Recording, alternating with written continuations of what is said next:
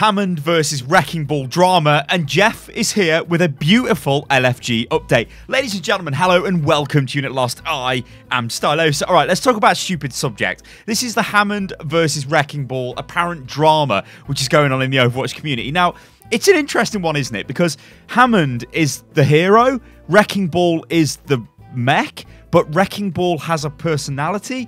So Hammond is in Wrecking Ball is actually two things, right? Now, the way Jeff explained uh, at Wrecking Ball in the developer update for the new hero is it's got a very simple AI. So what that means is it's not Omnic levels of intelligence, but it's still intelligent, but it's just like a kind of stupid Omnic. Um, essentially, it's just Hammond's way of interacting with the world. Like the mech translates what Hammond says, so it's it's almost like um, Stephen Hawkins in a way. Hammond is, um, and the mech or wrecking ball is his wheelchair, for want of a better comparison, ladies and gentlemen. Um, but yeah, like that's kind of what we got. So there is two distinct personalities there. The thing is, Hammond cannot speak. So Hammond cannot say to anybody what his name is. Nobody knows that Hammond is actually Hammond. So when you look at the Overwatch lore, the only people that know that Hammond is actually called Hammond is Winston and Dr. Winston. We don't know where Dr. Winston is, and Winston doesn't even know that Hammond's alive because Hammond crashed in the Outback in the Junkers like main party place and then he went and, and, went crazy in the arena and he built the absolute wonderful mech which is of course wrecking ball but even they didn't know what was inside wrecking ball it's a mystery to the junkers so they don't know he's actually a hamster which makes this story kind of completely ridiculous anyway what is the drama and what the hell is going on well people are starting to say should hammond you see, I'm just going to literally call him Hammond all the time. Should Wrecking Ball be renamed to Hammond because everybody's going to call him Hammond already? Well, I put this question out on Twitter and I said, does anyone actually call Hammond Wrecking Ball? See what I did there? You know, because obviously Hammond Wrecking Ball, yeah. Uh, the, the, first response was beautiful. It was, does anyone actually call Stylosa Unit Lost? At that point, I'd been defeated, so then I just left the internet for that day, which is true, right? Although I think I'm probably going to update everything to Stylosa in the near future anyway, ladies and gentlemen. But yeah, there's a lot of debate going on about this. Loads of people are saying, well, actually, um, we just call him Hammond. Like, maybe Blizzard could rename him to Hammond, um, blah, blah, blah, you know. But does it even matter? Like, look at the other mech hero in this game, right? Look at D.Va. Now, there is a little bit of a difference here with D.Va and Wrecking Ball because D.Va's mecha unit is not alive. It is, it's just a machine. She pilots that and then she pops out of it and she is the distinct hero. Everybody knows it's D.Va. She keeps running around saying she's D.Va. Everyone knows she's D.Va. That's just her vehicle. The thing with Hammond is we don't actually know about Hammond, although obviously it's apparent in the game, you know, it's a hamster. But the mech is also alive in a roundabout kind of way. It's not just a thing.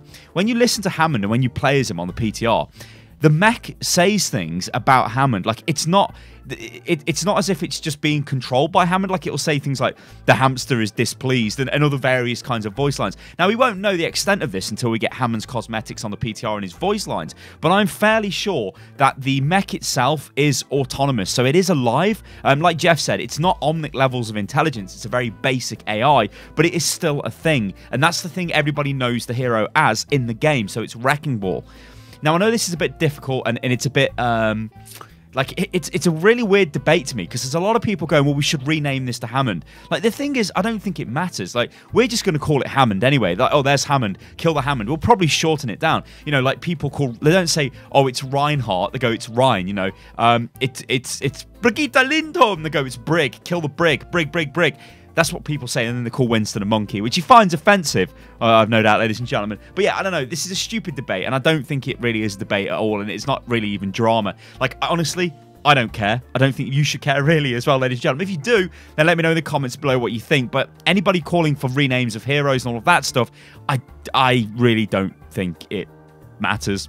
Uh, next up, we get an update off Jeff on the LFG system. Now, we know the LFG system is very close to Jeff's heart. We, I mean, he actually came on the channel a couple of weeks ago and spoke about this system uh, and spoke about how, you know, they've been working on it for eight months and all of that good stuff. Anyway, Jeff gives us a bit of a quick LFG update, but he gives us statistics here.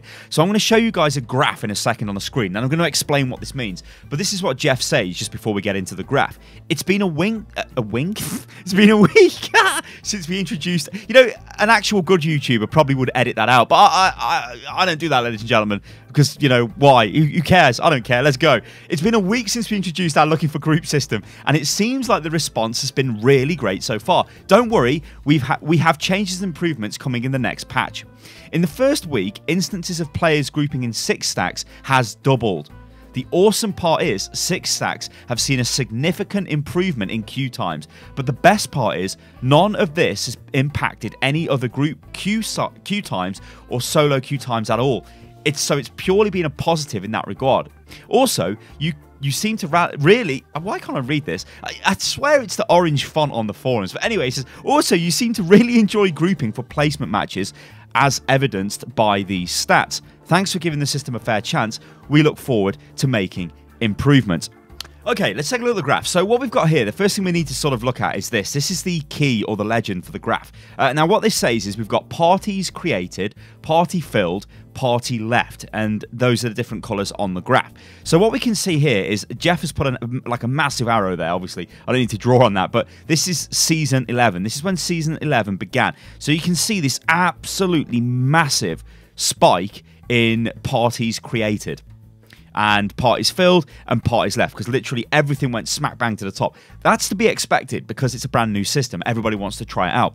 But then what we start to see is a bit of a drop. So this then drops down here. We can see obviously this here is the green, um, which is parties created, is starting to drop down. Everything else obviously corresponds with this because they're all linked together. So you've got parties created, parties filled, and then parties left. Well, I mean, you need parties, higher numbers of parties to be created for them to be filled and then for them to get left. So it makes sense the way the data is presented. However, if we look at all of this uh, as a whole, what we can see here is we've got dates from the um, 26th of the 6th there. So this obviously here, this entire section here is season 10. It's the end of season 10.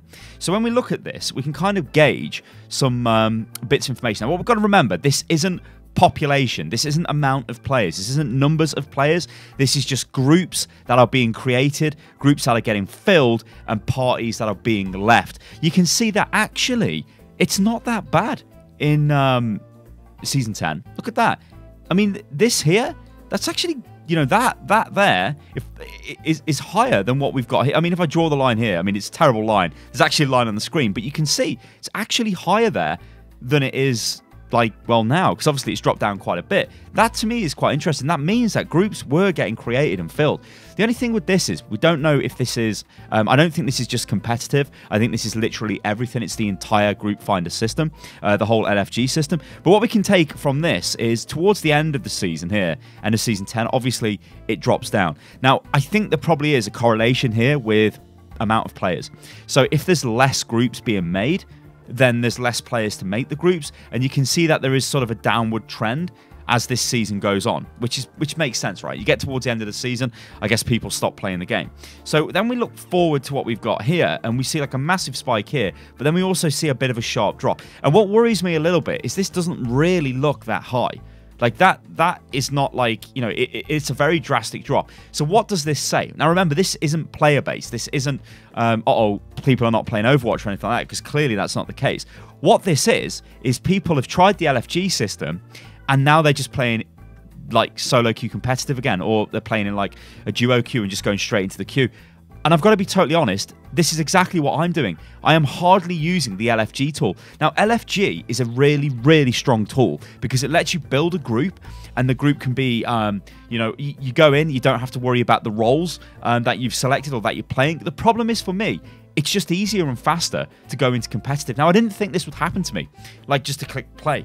Like, I thought I would use the LFG system quite a lot, but what seems to happen is the games, now, this is another thing as well, the games are super hard uh, in LFG because the enemy team are coordinated, you're coordinated. They're super, super hard. They're mega draining. They're really good, fun games. But you can't almost sit there and play those games all night because they're so intensive. You burn out. So I find myself playing some LFG and then I'm straight back into just normal queue. It's almost like I'm using normal competitive as like just this chill out session. Obviously, it's not, um, but it's a very interesting way. I think these things are starting to change. Now, I think going forward in the future, it would be really cool if we got maybe some form of role select directly into the solo queue system, but that's probably going to take time. The fact of the matter is, the changes we've got right now for season 11 are really good changes and clearly people are using the party group system the lfg system but i still think there's a little bit of a bit of a sleeper here and i think the endorsement system is probably what's driving a lot of the more positive gameplay experience players are having. Anyway